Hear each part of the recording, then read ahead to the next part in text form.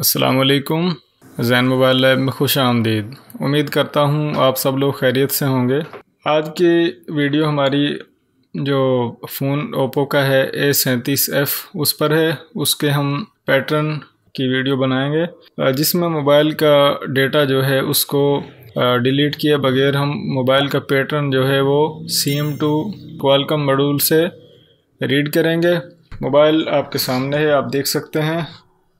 Oppo का phone है, Oppo S सैंतीस एफ़ और इसमें पैटर्न लॉक लगा हुआ है। तो इसको हम सी एम टू से अनलॉक करेंगे। यानी कि इसका जो पासवर्ड, जो इसमें पैटर्न लॉक जो लगा हुआ है, सी एम टू से उसको रीड करेंगे। तो करना यह है, सबसे पहले आपने मोबाइल के पावर बटन को पुश करना है, प्रेस करना है और मोबाइल को पावर ऑफ़ कर देना है। आप जानते हैं जैसा कि इस मोबाइल में बैटरी फिक्स होती है और सीपीयू इसमें क्वालकम लगा होता है तो इसलिए ईडीएल मोड पर इसका जो पैटर्न है उसको रीड या अनलॉक किया जाएगा। तो अब मैं स्टार्ट किए देता हूँ, मेरे साथ रहिए। डबल क्लिक से हम ये क्वालकम मॉड्यूल जो है इसको ओपन करेंगे सी एम टू में। सेटअप जो है वो खुल चुका है यानी कि सेटअप ओपन हो चुका है। इसको आपने इसमें मॉडल वगैरह सेलेक्ट करने की आपको बिल्कुल कोई ज़रूरत नहीं है।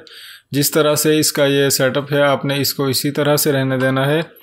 और आ, अगर आपको मोबाइल कनेक्ट कंप्यूटर से कनेक्ट करने के लिए ड्राइवर का इशू हो तो आप यहाँ से जो ये ड्राइवर्स हैं, ये वाले क्वालकम के, ये डाउनलोड करके इंस्टॉल कर सकते हैं। ड्राइवर्स की लिंक है, ये आपको वीडियो की डिस्क्रिप्शन में मिलेगी, आप वहाँ से क्लिक करके डाउनलोड कर सकेंगे। तो आपने जैसा कि यूज़र डेटा जो है, हमने उसको सेलेक्ट करना है। यहाँ पर रीड पैटर्न की ऑप्शन है। हम इसको क्लिक करने के बाद, जब यहाँ पर वेट फॉर फ़ोन जैसा कि आप देख सकते हैं वेट फॉर फ़ोन तो हम मोबाइल को ईडीएल केबल से ये हमने बनाई हुई है ईडीएल केबल और इसकी वीडियो जो है वो चैनल में मौजूद है। अगर आपको ईडीएल केबल बनाने का इलम ना हो तो आप वीडियो देखकर केबल बना सकते हैं।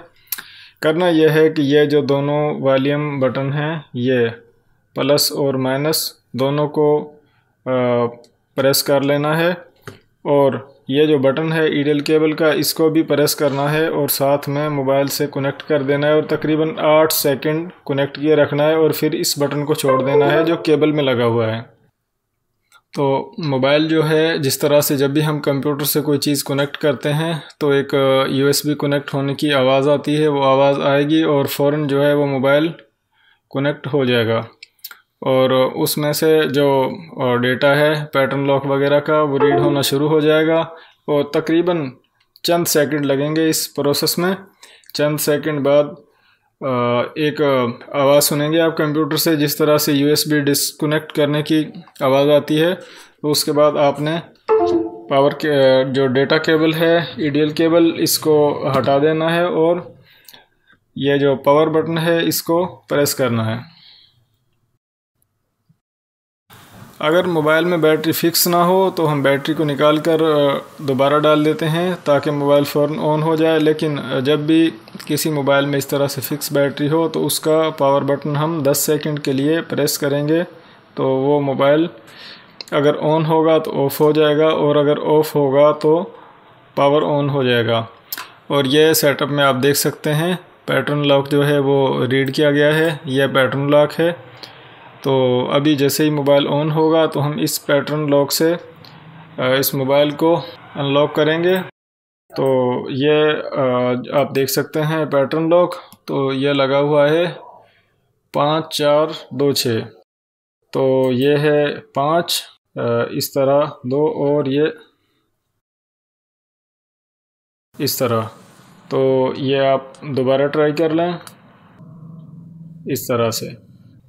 मोबाइल का लॉक जो आपने देखा कि अभी हमने उसको रीड करके ओपन किया और यहाँ पर आप देख सकते हैं मोबाइल में जो डेटा है पिक्चर्स वगैरह जो भी कुछ है, वो वैसे के वैसे ही महफूज है। तो इस तरीके से आप मोबाइल का डेटा जो है वो ज़ाया किए बगैर मोबाइल को अनलॉक कर सकते हैं, यानी कि डेटा भी महफूज रहे और मोबाइल का लॉक भी आप खोल सकें। तो दोस्तों, ये तो थी ओप्पो ए सैंतीस एफ़ के पैटर्न लॉक के बारे में एक छोटी सी वीडियो तो उम्मीद करता हूँ कि आपको वीडियो पसंद आई होगी।